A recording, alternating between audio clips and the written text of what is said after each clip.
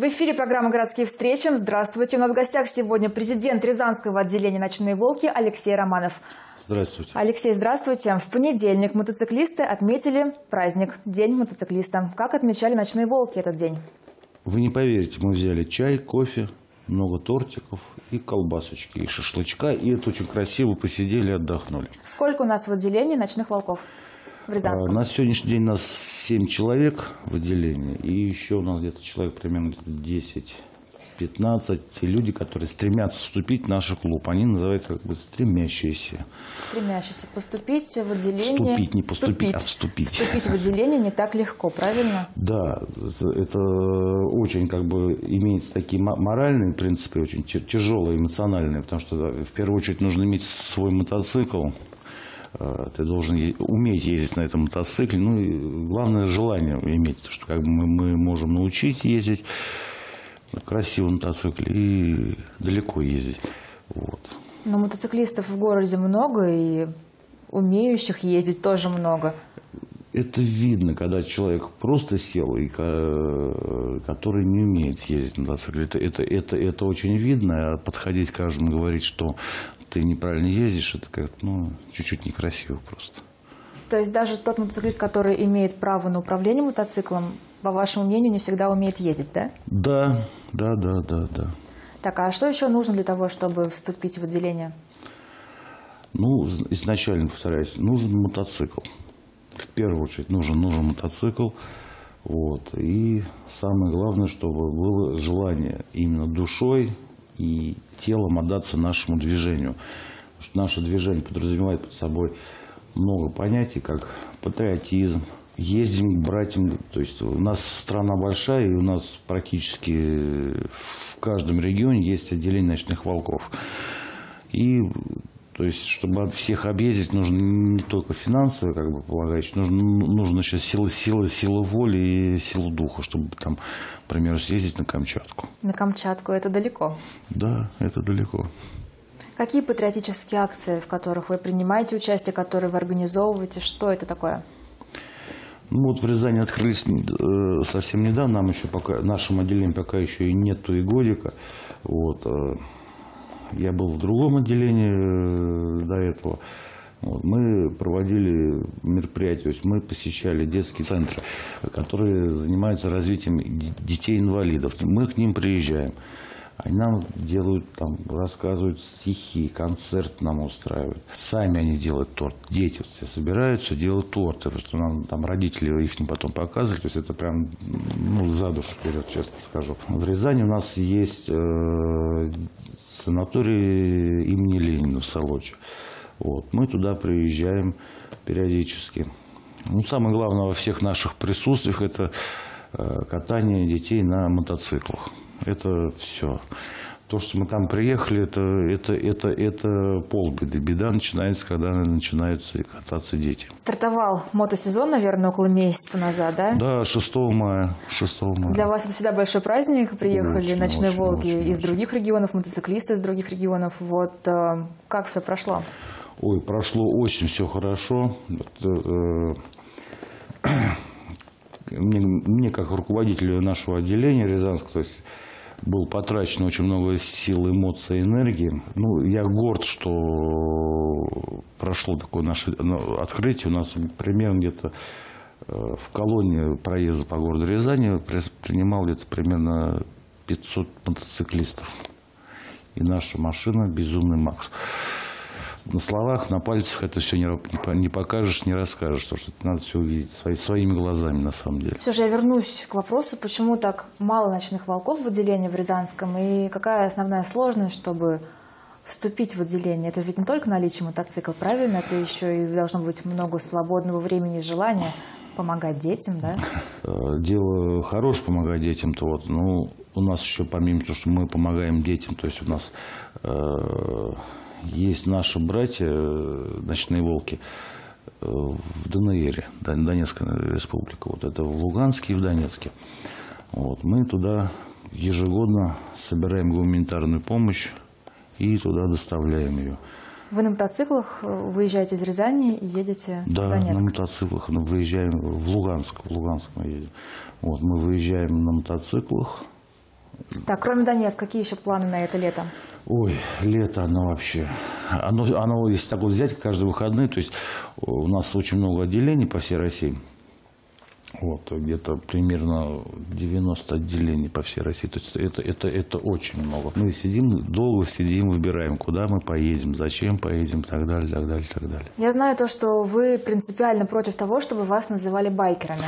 Байкер это как бы не русское название, оно американское. Вот оно как бы э, у нас раньше были все вот эти надписи, у нас были все на латинском языке все были, ну то есть вот может лет пять как назад мы уже приняли решение перейти на кириллицу. Вот. Ну, мы русские православные, и нам надо держать свой стиль и свою марку, чтобы все эти друзья наши, в кавычках, чтобы они знали и боялись, что, что есть такие ночные волки. А друзья в кавычках есть? Есть, есть. И среди есть. мотоциклистов тоже? Конечно. Вот что это за люди, кто это и как вы с ними боретесь? Ну, самая вот недавняя совсем вот информация такая, она, она для меня радостная, конечно, честно скажу, то, что э, Госдеп, ну, Белый дом, значит, ночные волки, э, хирурга нашего президента и клуб Секстон, э, который находится в Москве, включили в черные списки. Прямо вот честно скажу, это радует меня. Вот расскажите подробнее, конкретизируйте. Телезрителям, возможно, не все знают об этом. Что это за такие клубы? Клуб секса Москва. Он в Москве находится. Значит, адрес у него улица э, Нижние Мневники, строение 110. Это такой мини-мотогород. Туда заходишь и просто растворяешься во всем этом образе дома, то есть э, города, во всем э, растворяешься. Там очень много техники, там все, все сделано своими руками. Все вот эти сцены, наша машина «Безумный Макс», то есть у нас там стоит шоу-техника, там мотоциклы. В байк-центре в Москве проходит, э, каждый год у нас проходят новогодние елки. Они у нас идут целый месяц практически. С 4 с 5 января начинаются и до конца месяца идут каждый день. У нас всегда на этих елках аншлаги. Вся эта техника, она там принимает участие. Просто в зиму все представление проходит на улице.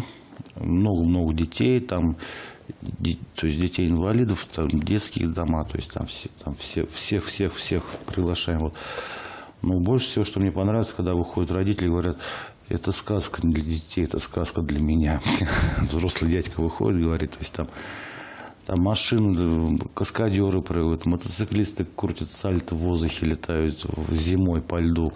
То есть это надо один раз увидеть, что это, это словами не передать. Вот вы сейчас сказали, что некоторые из мотоклубов, да, а, попали в черный список, добились этого. Что это за мотоклубы? Один единственный клуб – это «Ночные волки», кто попал в черные списки. Потому что э, мы э, своими, как бы, скажем так, усилиями, желаниями и желаниями, общими желаниями с нашими, с нашим правительством, как бы, скажем так, вот. мы хотели, чтобы Крым был наш в частности Севастополь. И у нас это получилось.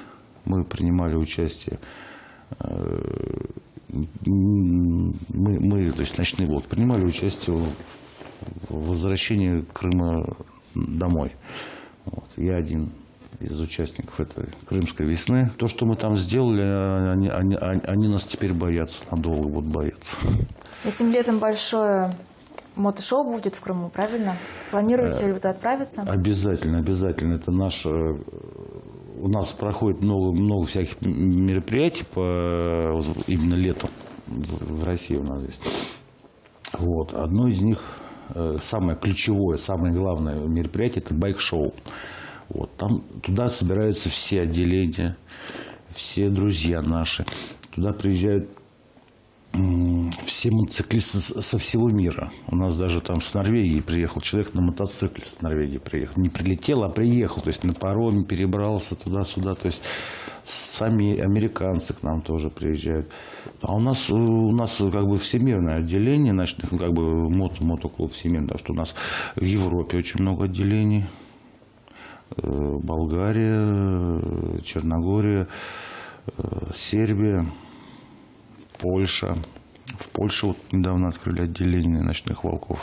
Несмотря на то, что вы ранее были президентом Долгопрудным, правильно? Не, нет, я там не был президентом Долгопрудным, я был как бы просто участником отделения. отделения да? Но да. вы коренной рязанец. Да, я коренной Расскажите, рязанец. пожалуйста, как вы решили, что вы хотите вступить в отделение в ночной волк? Как вы стали ночным волком? Ой, это такой, как это, как картинка из, из, из параллельного мира. Э, приезжаем в байк-центр, э, тогда работал в Москве, вот, приезжаю, приезжаем в байк-центр, а шел праздник Хэллоуин. Там за забором что-то сверкает, музыка, что-то там. В, в, туда просто, ну, просто людей туда-туда э, не пускали, простых. Это, я тогда, тогда был, был очень простым человеком для мотодвижения очень. Вот. И когда открыли калитку, вот этот, мы в нее вошли, такое ощущение, что я вошел в другое измерение жизни просто. Вот посмотришь сюда направо, то есть я стою за калиткой, сыро, уныло, страшно. Здесь заходишь, все тебя рады видеть, все праздник идет такой большой, то есть даже люди, которые тебя не знают, тебе подходят, жмут руку, с тобой здороваются. То есть, в итоге потом я с ним со всеми познакомился. Вот. И мне прямо так это понравилось, вот честно говорю. Потом попали, ну, в первый раз в своей жизни попал на большой мотопробег. Вот тут я вообще просто уже влюбился и сказал, все, ночные волки – это мое. Вот сейчас на территории России есть особые мотодвижения, против которых, если можно так сказать, вы выступаете. Да, что это за мотодвижения, какую опасность они несут? Да, у нас в России есть такие американские, прям скажу честно, прям точно скажу, американские мотоклубы которые несут идеологию э, подрыва, развала э, ангела ада. Само название такое уже прям неприятное, как минимум, да. Да, да, да, да, да. Потом есть клуб 81 и клуб бандитос. Самое страшное и неприятное то, что они э, распространяют среди молодежи, э, ну не сами они, то есть через своих там, скажем так, посредников и так далее, вот распространяют там наркотики, оружие. То есть, не да. могу не спросить вас про безопасность современного движения на дорогах. Как у вас сейчас происходит взаимопонимание с автомобилистами? Все ли соблюдают правила дорожного движения и как у вас, у мотоциклистов, это происходит? Ну, есть такая поговорка «в семье не без урода». Вот. Что тут скрывать? То есть у нас есть э, такие же лихие мотоциклисты, такие же есть лихие автомобилисты. Вот. Самое главное, что надо уважать друг друга на дороге. Самое главное. Когда ты едешь в машине, ты сидишь в какой-то железной коробке. Вот. Она тебя защищает от всяких травм, от царапин. То есть ты поцарапал машину, ты заехал в мастерскую, там тебе красочкой подмазали, все, у тебя машина стала заглаженная и чистая. А когда ты едешь на мотоцикле, эти травмы, которые можно получить, они бывают иногда несовместимы с жизнью. Просто у нас э, очень много, скажем, братьев, друзей, которые вот по вине автомобилистов просто их на сегодняшний день просто их нету. В этом году в Крым на мотошоу сколько рязанцев? Байк-шоу, байк-шоу. Байк-шоу. Вот наш, ну, едет наше, наше все отделение, еще э, наши там друзья, братья, кто мото-мото братья, кто поедет с нами. Вот. Количество народу сказать сразу не смогу. Вот. Э, рязанцы, я вас приглашаю всех в город Севастополь 17-18 августа на байк-шоу Севастополь. Это будет фееричное, красивое будет зрелище, которое надо один раз увидеть. Его по телевизору смотреть нет смысла, оно теряет запах, дух. Атмосферу. Атмосферу, да. Спасибо вам большое за беседу. Удачи вам, успехов. Я напомню телезрителям, что в гостях у нас сегодня был президент Рязанского отделения «Ночные волки» Алексей Романов. Спасибо за внимание. До новых встреч в эфире.